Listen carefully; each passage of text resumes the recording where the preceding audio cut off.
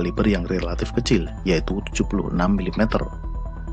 Karena mengusung kaliber kecil, berat meriam ini relatif ringan, hanya sekitar 680 kg.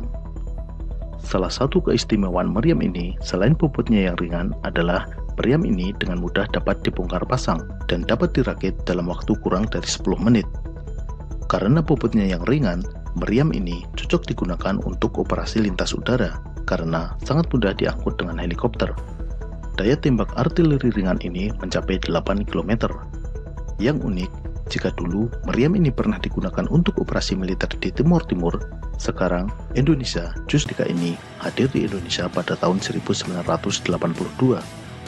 Namun saat itu, Indonesia membeli meriam ini dalam kondisi bekas pakai.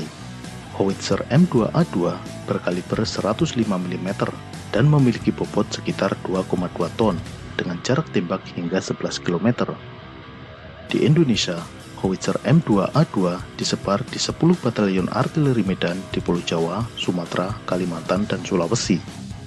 Diperkirakan paling tidak TNI memiliki 180 pucuk meriam jenis ini. Pucuk dua, tembak!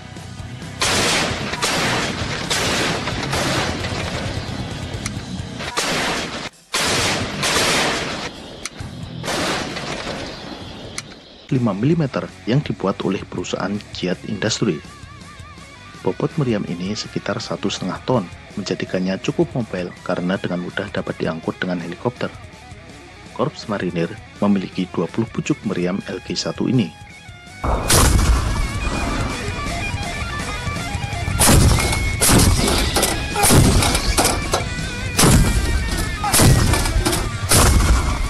dan Yun Armet 18 di Kalimantan Timur sebagai howitzer tarik, dalam pergerakannya KH-179 harus ditarik dengan kendaraan penarik.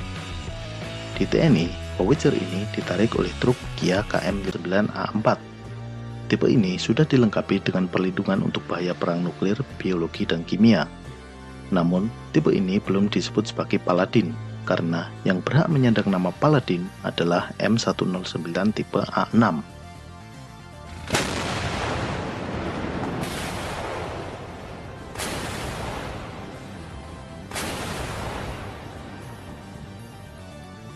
2004.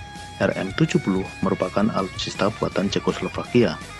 Dengan 40 tabung peluncur, artileri roket ini mampu meluncurkan roket kaliber 122 mm secara simultan. Untuk menghabiskan 40 roket hanya dibutuhkan waktu sekitar 20 detik. Tembakan roket RM70 mampu menjangkau sasaran sejauh 20 km. Roket yang diluncurkan RM70 memiliki panjang 2,88 meter dan kecepatannya sekitar 2500 meter per detik. RM-70 merupakan alutsista andalan Batalion Roket Pasukan Marinir atau Pasmar 1 Surabaya dan Pasmar 2 di Jakarta. Korps Marinir memiliki 9 unit RM-70 Grad yang dibeli tahun 2003 dan 8 unit RM-70 Vampire yang dibeli tahun 2016. Selain digunakan meluncurkan roket dari darat, TNI Angkatan Laut juga menguji cobakan penggunaan RM-70 yang ditempatkan di atas dek kapal perang TNI Angkatan Laut.